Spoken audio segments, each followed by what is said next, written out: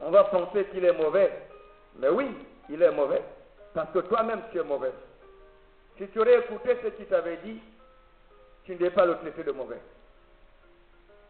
Donc c'est pourquoi, bien aimé, ce matin dans cette parole, particulièrement je voudrais interpeller le bureau de l'Église pour qu'ils prennent soin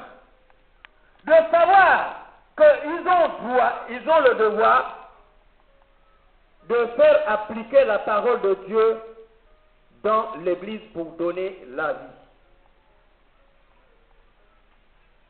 En commençant par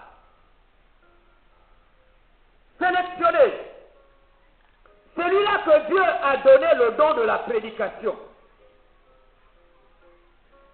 Parce que nous avons une équipe de prophètes. Cette, cette équipe prend du temps de se lever avec ces éléments dans la prière, nécessairement chacun saura qui il est. Amen. Et si ces gens sont établis pour annoncer la parole de Dieu avec efficacité, bien aimé, nécessairement notre Église changera. Aujourd'hui, nous nous demandons pourquoi les gens n'aiment pas la parole. Mais oui, bien aimé, mais la parole, si elle n'est pas bien transmise, elle révolte. Et si elle se révolte, ça veut dire que ça met l'Église dans le chaos. Parce que personne ne se retrouve là où il est. C'est ça. C'est pourquoi, bien aimé, nous devions commencer par là. Repérer les prédicateurs pour venir annoncer le message qui donne la vie.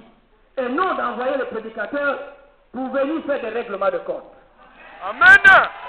Amen.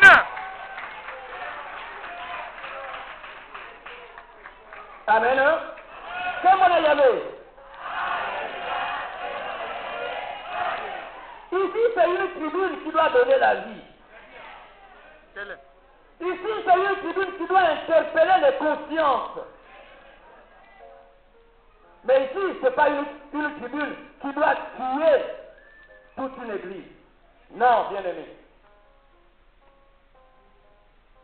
Non. Parce que quand on commence à dire, par exemple, à un peuple qu'on ne doit pas